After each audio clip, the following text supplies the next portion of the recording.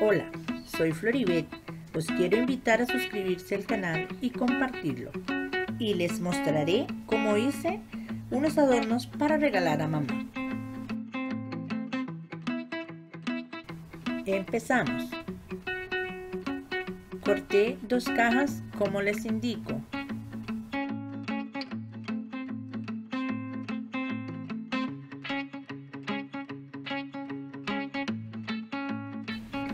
Tomamos la caja que no cortamos y la volvemos a cerrar, como les estoy indicando.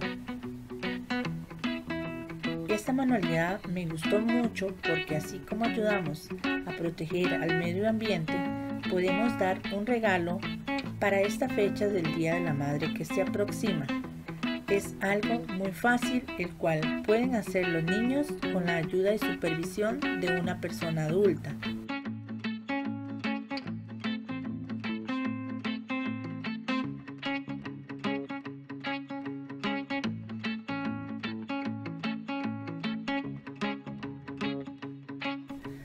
Esta caja le medí 3 centímetros de un lado y un centímetro y medio del otro y la marqué.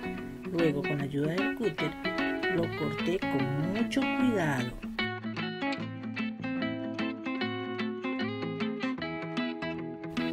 A las otras que había cortado les voy a medir como les indico 3 centímetros y me queda un espacio de 2 centímetros y la marco por los cuatro lados igual.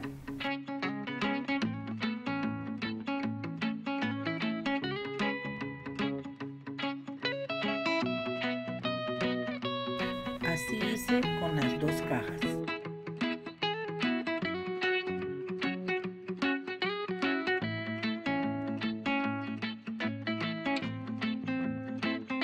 A esta caja no le medí, simplemente fui llevando una línea para hacer la división. Luego con unas hojas que tenía para el reciclaje empecé a hacer unos tubitos para decorar las cajas. De esta forma como les estoy indicando hice mis tubitos.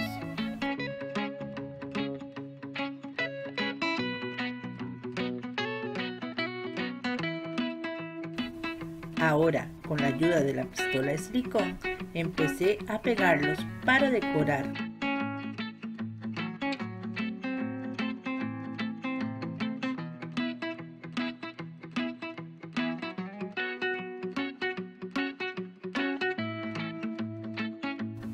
De esta forma las decoré las dos y esta la hice de esta manera.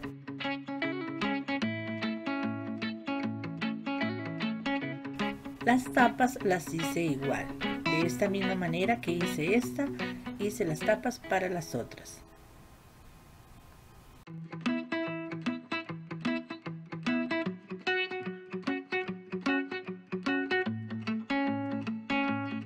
Ya cuando tenía listo la tapa, le pegué una tirita para que nos calzara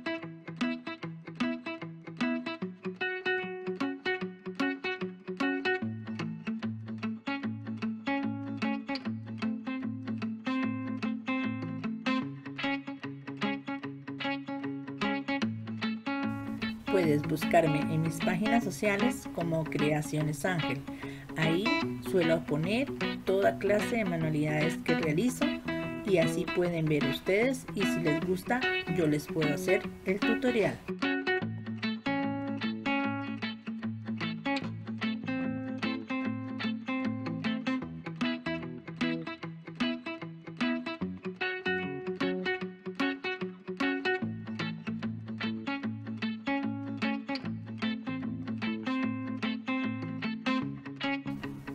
De esta forma nos quedaron las tapas de nuestras cajitas. Para hacer la cartapesta yo utilicé nuestro pegamento casero que aquí les dejaré el link. Ese pegamento es demasiado bueno. Me encanta para hacer la cartapesta. Luego les estaré mostrando en diferentes videos de cómo la utilizo para otras manualidades.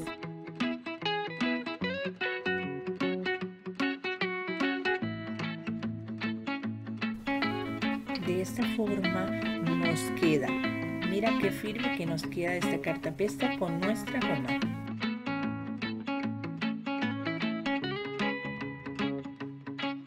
Ahora pintaremos con acrílico nuestras piezas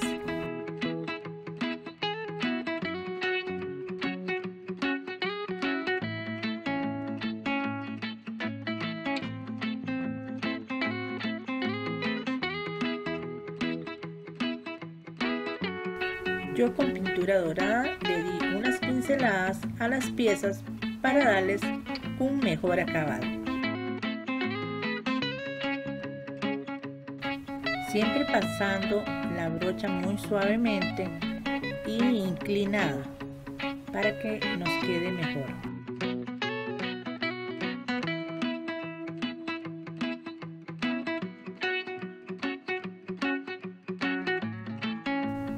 Encantaría que le dieras dedito arriba y compartieras el video.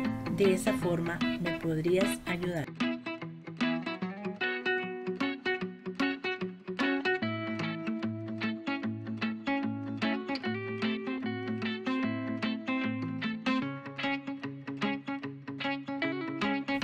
De esta forma nos quedan las piezas.